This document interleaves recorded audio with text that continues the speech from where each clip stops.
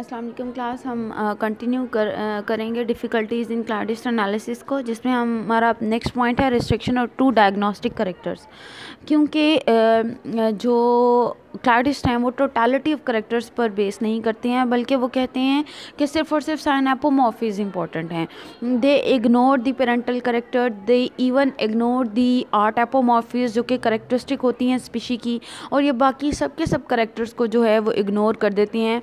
जबकि एक अच्छी क्लासिफिकेशन के लिए टोटलिटी ऑफ़ करेक्टर्स को कंसिडर करना बहुत ज़्यादा ज़रूरी है। समटाइम एनसेस्ट्रल करेक्टर्स बहुत ज़्यादा इंपॉर्टेंट होते हैं, जैसे कि मैमल्स में वर्टिब्रल कॉलम जो कि एक एंसेस्ट्रल करेक्टर है, और वर्टिब्रल कॉलम जो है वो सब वर्टिब्रेट को यूनाइट करा है एक टेक्जा बना रहा है वर्टिब्रेटा जिसमें जितने भी वर्टिब्रल कॉलम रखने वाले एनिमल हैं, वो सब उसमें पाए जाएँगे। तो कहने का मकसद ये है कि ये जो प्लीजोमोफिक करेक्टर्स होते हैं एंसेस्ट्रल करेक्टर्स होते हैं, ये भी बहुत इंपॉर्टेंट रोल प्ले करते हैं क्लासिफिकेशन जबकि जो क्लाडिस्ट हैं, वो सिर्फ़ और सिर्फ़ साइनापोमॉर्फिस को ही इंपॉर्टेंस देती हैं, बाकी सब के सब करेक्टर्स को छोड़ देती हैं, जिससे भी एक फॉल्स क्लासिफिकेशन आती है।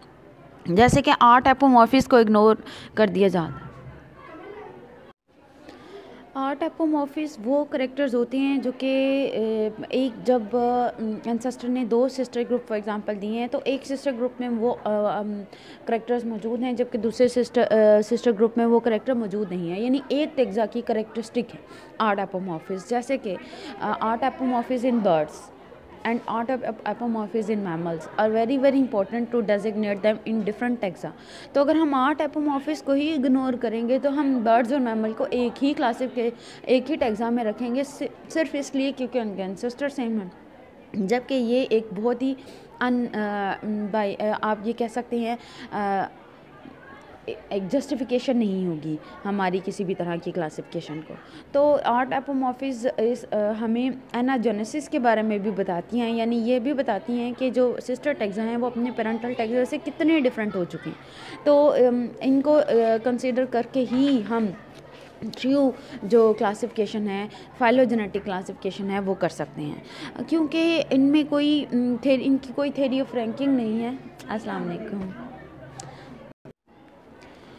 जो क्लासिफिकेशन में एक साउंड क्लासिफिकेशन में जो रैंक रैंकिंग है या रैंक है, वो डिग्री ऑफ़ डिफरेंस की बेस पे दिया जाता है। यानी आप आराम से ये गेस कर सकते हो कि अगर जीनस में दो मौजूद दो एनिमल्स हैं या दो डिफरेंट जीनस से बिलोंग करते हैं या दो डिफरेंट फाइलम से बिलोंग करते हैं तो आपको ऑटोमेटिकली पता चल जाएगा कि फाइलम दो डिफरेंट फाइलम से बिलोंग करने वाले जो एनिमल्स हैं, उनमें डिग्री ऑफ़ डिफरेंस ज़्यादा होगा दैन जीनस से बिलोंग करने वाले। एनिमल्स में तो क्योंकि ये डिग्री ऑफ़ डिफरेंस को इग्नोर करते हैं और कहते हैं कि डिग्री अमाउंट ऑफ़ डिफरेंस जो है डिग्री ऑफ़ डिफरेंस जो है, वो सब्जेक्टिव क्राइटेरिया है जिसको इग्नोर करना चाहिए। तो इस तरह से हम उनकी जो रैंकिंग है, वो एक बहुत ही ज़्यादा हैपजर्ड हो जाएगी। यानी हम ये गैस नहीं कर सकेंगे कि कौन से रैंक में मौजूद एनिमल जो है, एक दूसरे से कितना डिफरेंट है। तो इस ना ही हम कोई एक सेट ऑफ़ करेक्टरिस्टिक बना सकेंगे जो कि एक हास्ट एग्ज़ाम में मौजूद एनिमल्स की करेक्टरिस्टिक होती है। तो इस तरह से जो इनकी थेरी रैंकिंग की नहीं है, ये बहुत ही ज़्यादा मिसलीडिंग क्लासिफिकेशन प्रोड्यूस करती हैं।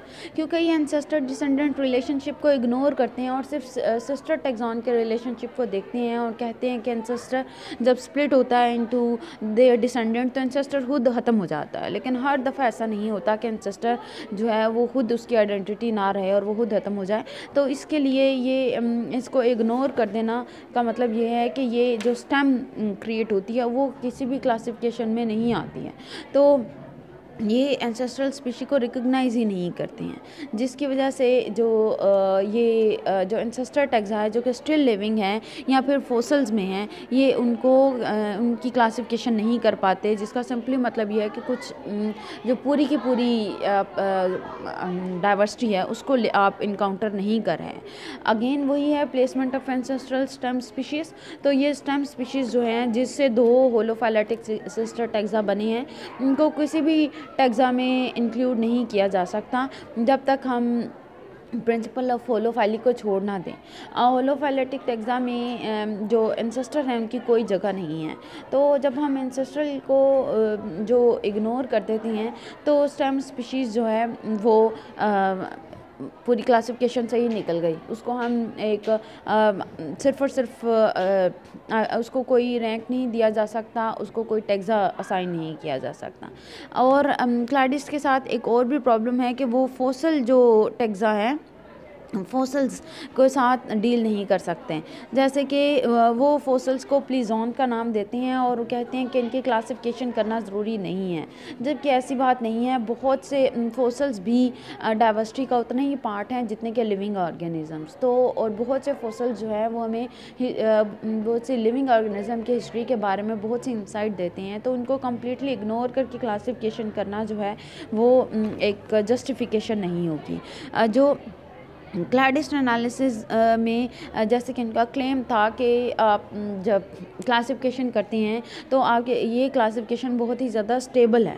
आ, लेकिन ऐसा नहीं है। आ, जब आप डिफरेंट साइन एपोमॉर्फिस की बेस पे क्लासिफिकेशन करोगे तो आपकी क्लासिफिकेशन जो है वो डिफरेंट आएगी। यहाँ पर ये एग्ज़ाम्पल आप देखें कि अगर ये B D E F taxa को लेकर क्लासिफिकेशन की गई है लेकिन बाद में डिस्कवर होने वाले ए और सी टैक्सा जब इसमें आएँगे। तो पूरी की पूरी क्लासिफिकेशन जैसे बी में आप देख सकते हैं कि पूरी की पूरी क्लासिफिकेशन ही चेंज हो गई है। और इनकी, आप इसमें रिलेशनशिप भी बदल गया है सारे का सारा। तो इसकी इसका मतलब ये है कि आप इसकी बेस पर जो है वो क्लासिफिकेशन नहीं कर सकते हैं। ये ये इनस्टेबल किस्म की क्लासिफिकेशन होती है।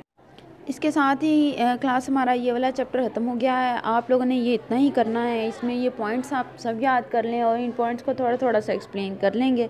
ये लॉन्ग के तौर पर भी आ सकता है कि डिफ़िकल्टीज़ इन क्लाडिस्ट एनालिसिस या ये दो के दरमियान कंपैरिजन भी आ सकता है या इसको एज सच एक शॉर्ट क्वेश्चन के तौर पर भी पूछा जा सकता है।